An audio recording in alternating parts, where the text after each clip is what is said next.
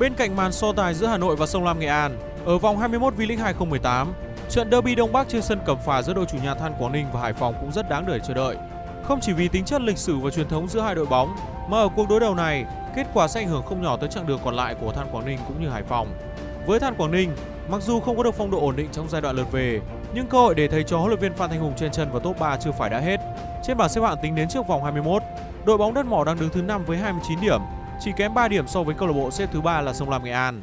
Ờ, nói về phong độ thì không một trận đấu không thể một trận đấu nói được. Nhưng rõ ràng sức mạnh của cả của Hải Phòng hiện tại là nằm trên hai cầu thủ này. Họ có thể đã độc lập họ chơi đầu họ thể lực rất là tốt. Thực ra là mùa giải năm nay Hải Phòng mất cùng rất là nhiều người theo tôi biết. Sự thay thế bổ sung thì vẫn giữ lại được Steven và Van vẫn là giữ được sức mạnh của đội bóng mình. Vẫn tôi nghĩ là rõ ràng là với không phải là đội tôi và tất cả các đội khác. Rõ ràng Fagan với Steven thì bất cứ đội nào cũng phải cố gắng ờ, uh, phá giải chứ đó là một hai hai hai vùng phong nguy hiểm và thời gian quá trình vừa qua họ đã chứng minh được họ với Hải Phòng rồi. Về phía Hải Phòng, kể từ trận thắng 2-0 trước Thành phố Hồ Chí Minh vào ngày mùng 5 tháng 5 cho tới nay, thầy trò huấn luyện viên Trương Việt Hoàng đã trải qua liên tiếp 6 vòng đấu, chỉ toàn hòa và thua. Từng có thời điểm góp mặt trong top 3, song quãng thời gian xa sút vừa qua đã khiến đội bóng đất cảng rơi một mạch xuống vị trí thứ 8.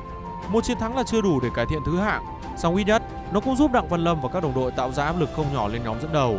Trong 9 lần gặp nhau gần nhất tại đấu trường V-League, thành tích đối đầu giữa Than Quảng Ninh và Hải Phòng là cân bằng khi mỗi đội đều có được 4 chiến thắng. Với Than Quảng Ninh, có tới 3 lần đội bóng đất mỏ đánh bại đối thủ trên sân Cẩm Phả. Điều này ít nhiều cũng sẽ mang lại sự tự tin cho thầy trò huấn luyện viên Phan Thanh Hùng. Trong khi ở V-League thời điểm hiện tại, Hải Phòng cũng chỉ kiếm được 11 trên 30 điểm tối đa mỗi khi phải thi đấu sân khách.